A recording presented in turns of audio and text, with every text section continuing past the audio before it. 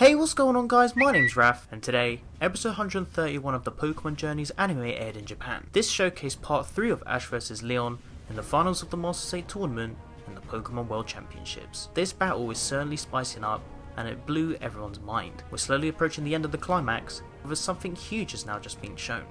There's a bunch of information to cover, so let's jump straight into it. Don't forget to leave this video a like to show your support, and I'm sure to bring out my next video shortly. Make sure to subscribe if you haven't already to keep up to date, and without further ado, let's begin. Before we dive into today's episode, let's have a brief chat about next week's preview. I'm telling you all now, Ash is going to beat Leon. From what we've seen of the impact and animation alone, it seems the final clash is in fact going to be a base form between Pikachu and Charizard. It does seem that Eternatus is appearing, and maybe it takes away all of the Dynamax energy, causing Charizard to lose its Gigantamax form. The battle segment is looking super raw and clean, and the motion shown from both sides is truly going to be something you definitely don't want to miss. Now let's dive into my thoughts about part 3 of this battle. Before I begin, the details I'll be discussing are in no particular order.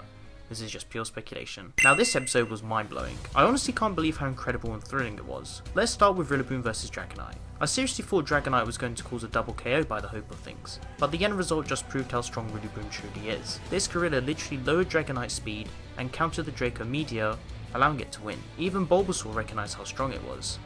The same went for Sirfetch'd. The way it managed to even handle Meteor Assault and counter it was just mind blowing. It's a shame that the Duck didn't manage to get the job done, although I am happy to see Dracovish Event Sirfetch'd finally taking down Rillaboom. Seeing the XY siblings Bonnie and Clemont cameo melted my heart. Now let's talk about Cinderace. The top striker is for sure Leon's most broken Galar starter. Leading the trio, its Libero ability is absolutely broken, and it makes sense why it destroyed Dracovish despite being awakened. It's going to be interesting to see how it gets defeated in the end against Pikachu. As for the final clash with Gigantamax Charizard, insane animation. I absolutely loved how impactful it was from Leon's side to first bring forward Charizard and explain to Ash how much his partner meant to him. And of course Ash spoke the same vibes with Pikachu. It was heartwarming to see the Alola family return too. Seeing the Eternatus break free can only mean one thing next week, and I'm sure as we saw in the preview, the final clash will be in the base form. I can't wait to see how this final battle concludes. I'll post my full review on Twitter when subs come out for today's episode. We also now have the confirmed summary for episode 132, which is part 4 of Ash vs Leon, the finals part 4, partner. Summary states the following. Eternatus has suddenly appeared in Wyndon Stadium. What could he be here for? In addition, the battle between Ash and Leon is reaching its climax. As they take on Leon's ace Charizard, Ash and Pikachu muster the last of their strength. Everything they've gained from all of their encounters, battles and adventures this far. Will Ash be able to seize the laurels of victory alongside his greatest partner? Yes he will.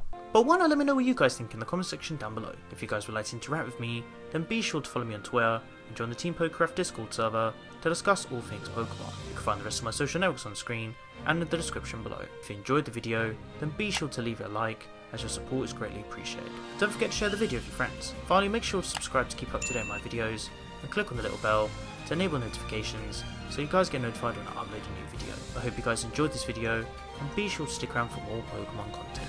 Thank you so much for watching, and I'll catch you guys in the next one.